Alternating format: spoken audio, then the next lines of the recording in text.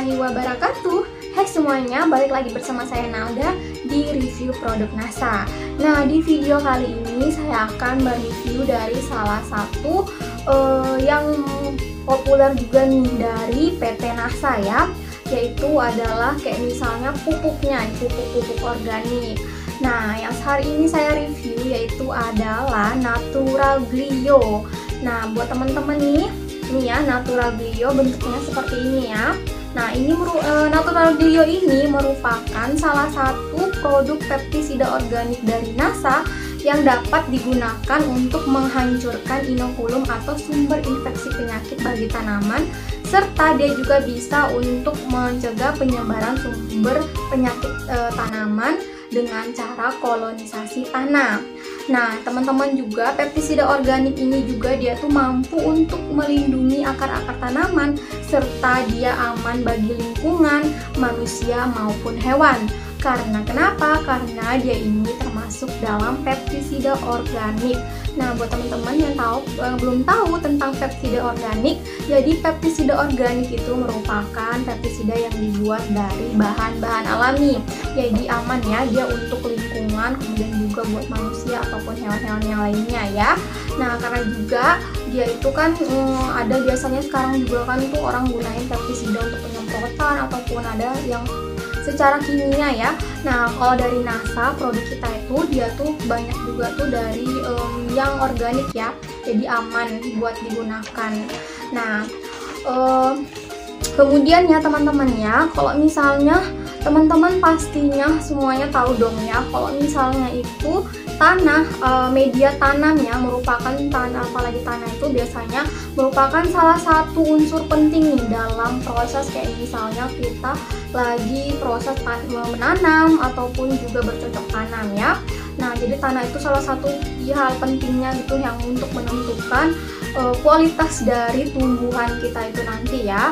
Misalnya itu kalau misalnya dari tanahnya aja udah uh, udah nggak bagus atau udah terserang ada penyakit atau apa ya pastinya nanti tumbuhan yang kita tanam itu akan bermasalah dong ya nah Glio ini, natural glio dari NASA ini, dia itu memiliki uh, sifat hiperparasit terhadap patogen penyakit uh, penyakit penyebab tanaman.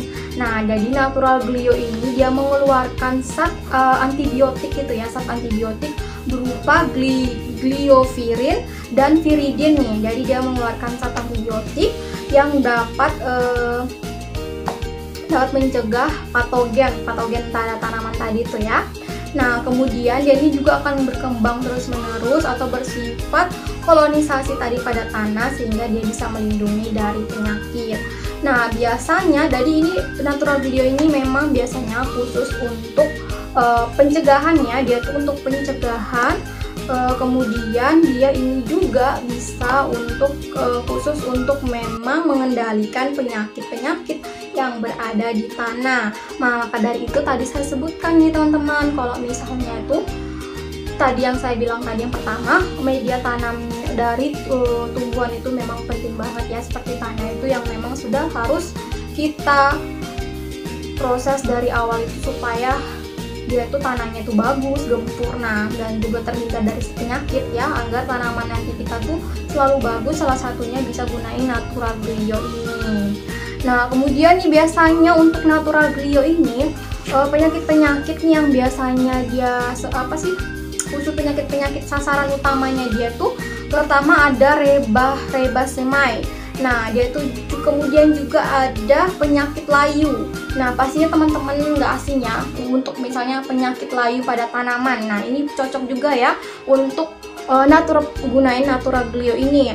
Nah, kemudian juga uh, bisa penyakit antraknosa, kemudian atau akar dada. Nah, itu tadi biasanya sasaran-sasaran utama dari uh, natural glio yang bisa digunakan ya.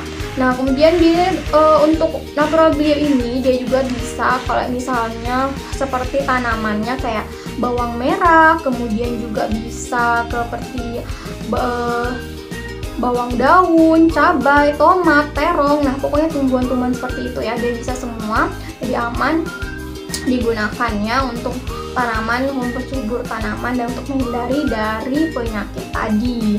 Nah, kalau misalnya teman-teman pengen tahu nih cara untuk penggunaannya, penggunaan dari uh, natural glio ini ya gimana sih cara untuk penggunaannya ya? Pastinya apakah dia disemprotkan ataupun ditaburkan atau gimana? Teman-teman pastinya kepo dong ya cara penggunaan dari natural glio ini.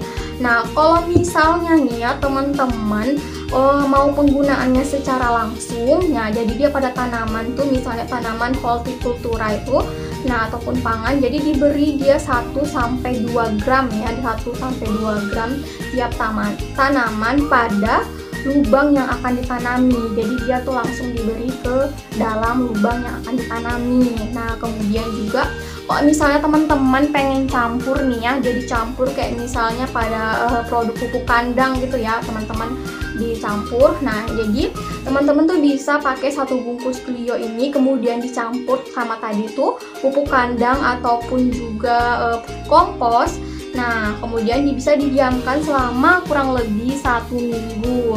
Nah, kalau sudah tuh didiamkan, baru bisa uh, disebarkan dia secara merata pada media pembibitan atau uh, sebelum ditanam tadi itu ya.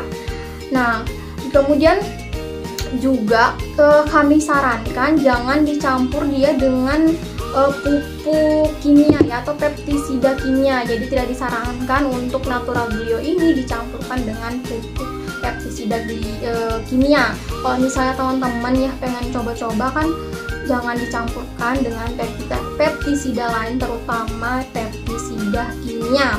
Nah, juga disarankan untuk disimpan di suhu sejuk ya, eh, atau suhunya tuh 250 sampai 300 Celcius serta terlindung dari sinar matahari.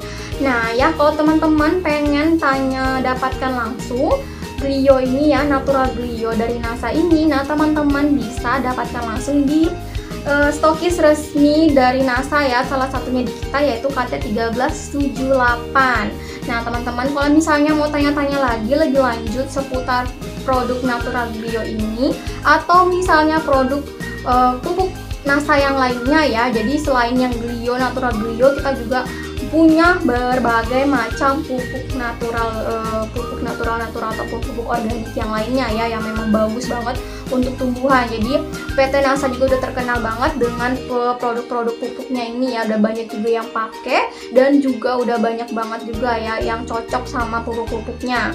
Nah jadi buat teman-teman nih yang mau tanya-tanya dulu lebih lanjut seputar produk natural bio ataupun pupuk-pupuk eh, natural yang lainnya atau pupuk organik yang lainnya, teman-teman bisa langsung komen aja di video kita kali ini atau teman-teman langsung hubungin kita di nomor WA.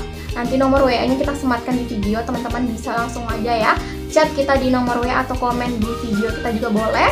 Nah, untuk tanya-tanya seputar produk-produk NASA yang lain. Jadi selain produk kecantikan, kesehatan, kita juga ready untuk produk uh, pertanian ini ya pertanian peternakan juga ada ya uh, oke sekian dulu dari saya untuk video kita hari ini. Jangan lupa untuk saksikan lagi video review kita selanjutnya di video lainnya ya.